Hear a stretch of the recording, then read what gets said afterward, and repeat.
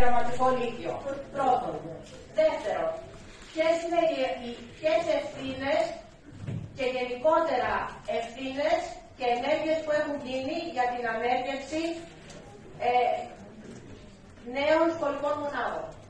Δύο. Δεύτερη ερώτηση.